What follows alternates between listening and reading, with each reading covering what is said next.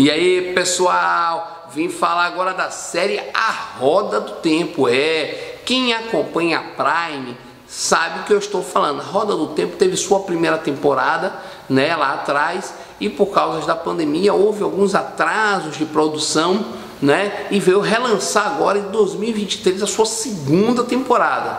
Assisti alguns episódios e posso falar alguma coisa aqui. A primeira temporada foi boa? Foi excelente, muito boa. Mas a segunda temporada está mais rica, com mais recursos financeiros que foi liberado para a série. Você percebe pela qualidade gráfica, você percebe por tudo. A série na segunda temporada, para mim, nos primeiros episódios já superou a primeira temporada. A primeira temporada é muito boa, para quem curte esse estilo de série. E a segunda temporada, para mim, já superou. Já superou. Eu vou trazer mais à frente aí o que, que está acontecendo nessa segunda temporada. Vou dar um respiro para a galera que não conhece a série, que vai assistir.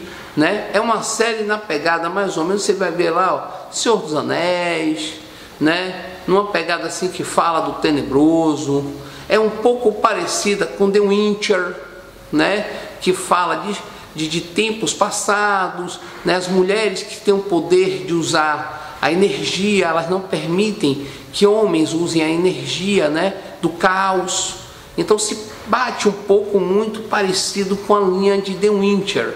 E a série é muito boa. E a segunda temporada ela vem com uma riqueza, uma riqueza gráfica, uma riqueza de linguagens. A, a trama ficou mais, amarra, mais gostosa porque os amigos se, se separaram. Não vou contar mais spoiler aqui não, porque quem não assistiu a primeira temporada vai assistir.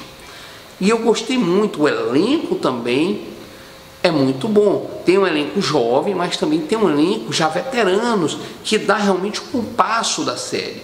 E eu digo a você, a roda do tempo, bote na sua agenda, é na Prime. E digo a você, vale muito a pena. Essa semana vou trazer outras séries que estão na Prime, né? E filmes que estão na Prime, que muita gente não tem noção da qualidade desses filmes e dessas séries que estão na Prime. Com um custo extremamente barato.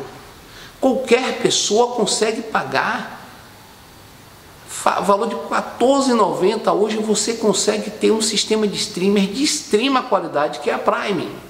Então, pessoal, não perde tempo não. Bota na sua agenda, vai lá conferir a roda do tempo.